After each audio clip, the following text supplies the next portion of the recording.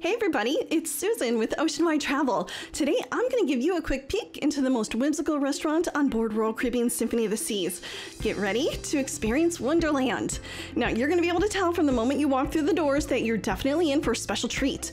The decor in here is a total nod to Alice in Wonderland, and if you're paying close attention, you'll even notice little details like chairs with tall white rabbit ears. Oh, and these red and blue goblets here, those actually symbolize the drink me and eat me potions that Alice had encountered during her adventure adventure. But let's talk about the menu a little. Here's a sample of what it looks like. Pause your screen to take a closer look. You're going to notice that each course is inspired by one of the five natural elements sun, ice, fire, earth, and sea. Believe me, you guys, every single dish on this menu is unforgettable and is worthy of being photographed. Now let's tackle the big question what is the price? Well, if you book on board, they'll likely charge $59.99 per person. But here's a little pro tip for you guys. I would suggest you make a reservation in advance from your cruise planner because there is a chance you will find a better rate doing it that way.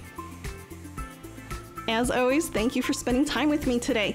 Please remember to hit that like button and subscribe to the channel because there's more cruising fun coming your way. Until next time, happy sailing and take care.